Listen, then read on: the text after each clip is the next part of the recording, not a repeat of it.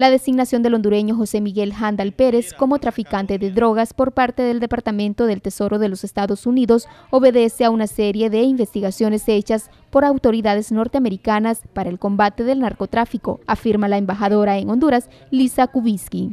Ese señor eh, Chepe Handal fue designado ayer por el Departamento del Tesoro de los Estados Unidos y las uh, acciones son lo que están descritos en,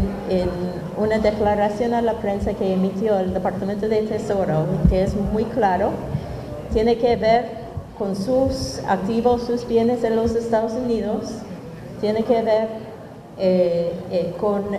eh, el permiso o no para estadounidenses entrar en negocio con él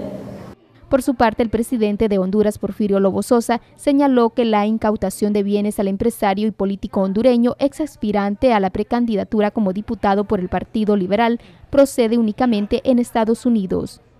Eh, ver una acción más del gobierno de Estados Unidos en su lucha contra el crimen organizado, el narcotráfico y, eh, lógicamente, pues en Honduras también está la autoridad correspondiente que inicia con las investigaciones, la fiscalía,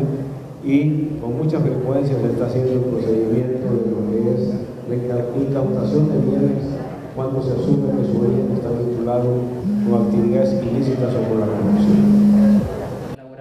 Mientras el presidente de la República y la embajadora estadounidense comparecían ante los medios de comunicación en otro extremo de San Pedro Sula, la Policía Nacional allanaba una vivienda en donde se encontró 15 granadas RPG-7 antitanques, dos ametralladoras M60, por lo cual se detuvo a la propietaria del inmueble. En donde pues en la colonia del Valle se han encontrado 15 granadas de lo que es eh, RPG-7, eh, estas granadas son antitanque, dos ametralladoras eh, antiaéreas eh, M60, calibre 7.62 milímetros, y también se ha encontrado hasta ahorita un, un kilo de supuesta cocaína. Se ha detenido a la señora Claudia